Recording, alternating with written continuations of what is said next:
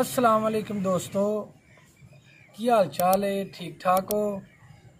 ਜਿਵੇਂ ਕਿ ਤੁਸੀਂ ਸਾਡਾ ਚੈਨਲ ਵੇਖ ਰਹੇ ਹੋ ਵਿਲੇਜ ਲਾਈਫ ਸਿਆਲਕੋਟ। ਸਾਡੇ ਚੈਨਲ ਦਾ ਮਕਸਦ ਤੁਸੀਂ ਇਸ ਵੀਡੀਓ ਤੋਂ ਵੇਖ ਸਕਦੇ ਹੋ। ਇਹ ਖੂਬਸੂਰਤ ਨਜ਼ਾਰੇ, ਪਿੰਡ ਦੇ ਖੂਬਸੂਰਤ ਦਰਖਤ ਦੇਸੀ ਅੰਦਾਜ਼ 'ਚ ਔਰ ਦੇਸੀ ਲਹਿਜੇ 'ਚ, ਪੰਜਾਬੀ ਜ਼ੁਬਾਨ 'ਚ। ਇਨਸ਼ਾਅੱਲਾ ਤਾਲਾ ਅਸੀਂ ਤੁਹਾਨੂੰ ਜਿਵੇਂ ਕਿ ਤੁਸੀਂ ਇਹ ਖੂਬਸੂਰਤ ਪਿੰਡ ਦੇ ਨਜ਼ਾਰੇ ਵੇਖ ਰਹੇ ਹੋ ਔਰ ਸਾਡੇ ਚੈਨਲ ਦਾ ਨਾਮ ਹੀ ਵਿਲੇਜ ਲਾਈਵ ਸਿਆਲਕੋਟ, ਕਿ ਸਿਆਲਕੋਟ ਦੇ ਵਿੱਚ ਰਹਿੰਦੇ ਹੋਇਆਂ ਪਿੰਡਾਂ ਦੀ ਜ਼ਿੰਦਗੀ ਕੈਸੀ ਹੁੰਦੀ ਏ? ਪਿੰਡਾਂ ਦੇ ਵਿੱਚ ਕੁਦਰਤੀ ਮਾਹੌਲ ਕਿੰਜ ਕਿੰਜ ਦੇ ਹੁੰਦੇ ਨੇ? ਲੋਕ ਜਾਨਵਰਾਂ ਦੇ ਨਾਲ ਕਿੰਜ ਕਿੰਜ ਪਿਆਰ ਕਰਦੇ ਨੇ?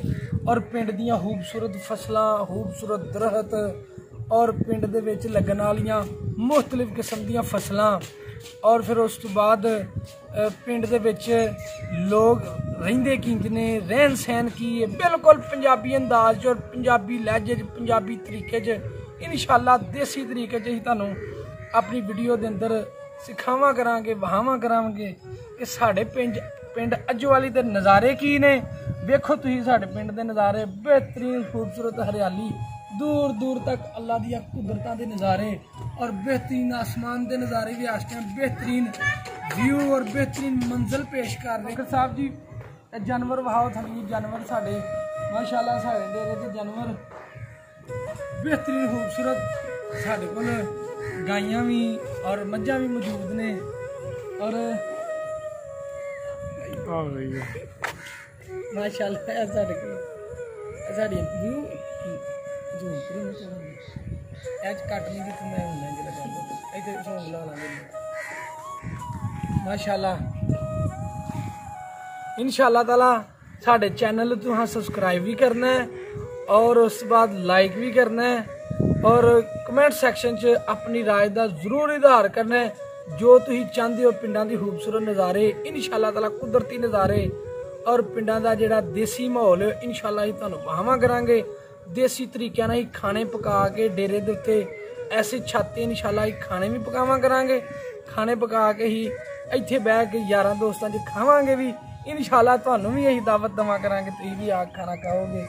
ਔਰ ਪਿੰਡਾਂ ਦੇ ਵਿੱਚ ਲੋਕ ਬੱਚਿਆਂ ਦੀਆਂ ਖੇਲਾਂ ਔਰ ਫਿਰ ਉਸ ਤੋਂ ਬਾਅਦ ਬਿਹਤਰੀਨ ਜੋ ਵੀ ਪਿੰਡਾਂ ਦੇ ਵਿੱਚ ਹੋ ਸਕਦਾ ਵੇ ਕਿ ਲੋਕਾਂ ਦੀ ਅਹ, ਰਹਿਣ ਸਹਿਣ ਲੋਕਾਂ ਦੀ ਆਰਾਇਸ਼ ਬਿਹਤਰੀਨ ਚੀਜ਼ਾਂ ਇਨਸ਼ਾਅੱਲਾ ਤਾਲਾ ਵਹਾਵਾਂਗੇ ਉਸ ਤੋਂ ਬਾਅਦ ਜਾਨਵਰਾਂ ਦੇ ਅਹ, ਜਾਨਵਰਾਂ ਦੇ ਮੁਤਲਕਾ ਬਿਜ਼ਨਸ ਔਰ ਜਾਨਵਰਾਂ ਦੇ ਇਲਾਜ ਮੁਆਲਜੇ ਇਨਸ਼ਾਅੱਲਾ ਹੀ ਸਾਰੇ ਤੁਹਾਨੂੰ ਆਪਣੀਆਂ ਇਸ ਵੀਡੀਓਜ਼ ਵਹਾਵਾਂ ਕਰਾਂਗੇ। ਇਹ ਸਾਡਾ ਦੇਸੀ ਬੋਲਣ ਦਾ ਤਰੀਕਾ ਪਤਾ ਨਹੀਂ ਲਹਿਜਾ ਠੀਕ ਹੈ ਕਿ ਨਹੀਂ।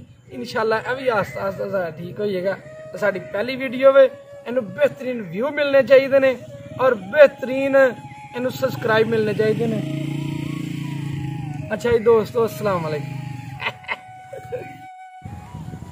ਨਾਜ਼ਰੀਨ ਇਹ ਮੇਰਾ ਦੋਸਤ ਵੀ ਹੈ ਛੋਟਾ ਵੀਰ ਵੀ ਹੈ ਅਬੂ ਬਕਰ। ਇਸ ਅਬੂ ਬਕਰ ਕੋ ਵੀ ਇਹ ਪੁੱਛਾਂਗੇ ਕਿ ਸਾਡਾ ਚੈਨਲ ਬਣਾਉਣ ਦਾ ਕੀ ਮਕਸਦ ਹੈ। ਜੀ ਅਬੂ ਬਕਰ ਸਾਹਿਬ ਦੱਸੋ ਜੀ ਅਸੀਂ ਇਹ ਚੈਨਲ ਬਣਾਇਆ ਵਿਲੇਜ ਲਾਈਫ ਤੇ।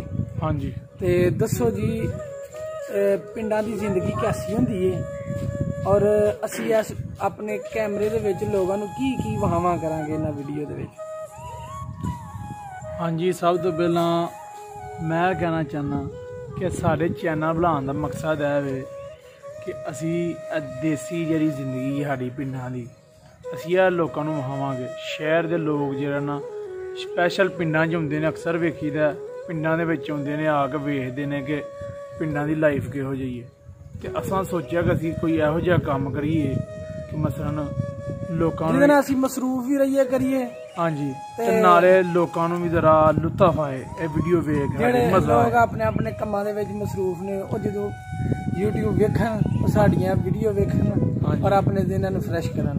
ਤੇ ਇਹ ਸਾਡੇ ਪਿੰਡਾਂ ਦਾ ਮਾਹੌਲ ਹੈ ਬਹੁਤ ਅੱਛਾ ਮਾਹੌਲ ਹੈ ਠੀਕ ਹੈ। ਤਕਰੀਬਨ ਸ਼ਹਿਰਾਂ ਵਾਲੀਆਂ ਸਹੂਲਤਾਂ ਸਾਨੂੰ ਪਿੰਡਾਂ 'ਚ ਵੀ ਮਿਲਦੀਆਂ ਪਈਆਂ ਠੀਕ ਹੈ। ਤੇ ਪਿੰਡਾਂ ਦਾ ਜਿਹੜਾ ਮਾਹੌਲ ਹੈ ਬਾਵਜੂਦ ਪਿੰਡਾਂ ਦੀ ਜ਼ਿੰਦਗੀ ਦਾ ਇੱਕ ਅਲੱਗ ਹੀ ਮਜ਼ਾ। ਅਲੱਗ ਹੀ